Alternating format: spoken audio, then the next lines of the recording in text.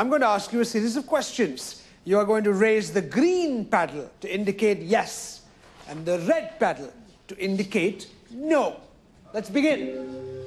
Having a beer with your boss. Some of you are under 21. Some of us aren't under 21, so if you want to grab a cold one with me, I'm happy to do that with you. I will not be grabbing a cold one with you. You get high? I don't get high. I'm not judging. I'm just saying. Dating a fellow intern. This is Google, not Match.com. No, that's frowned upon also. So we'll say no to love. We'll say no to love, yes. It's going to be a no. Is a one night stand considered dating?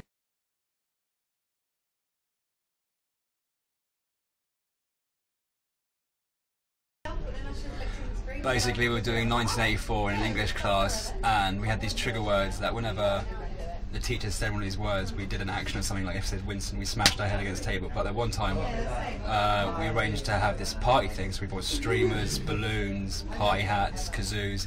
At the moment our teacher said party, we threw everything around and just yelled party, and I was blowing bubbles, and they all surrounded me, and I got in some serious trouble for it.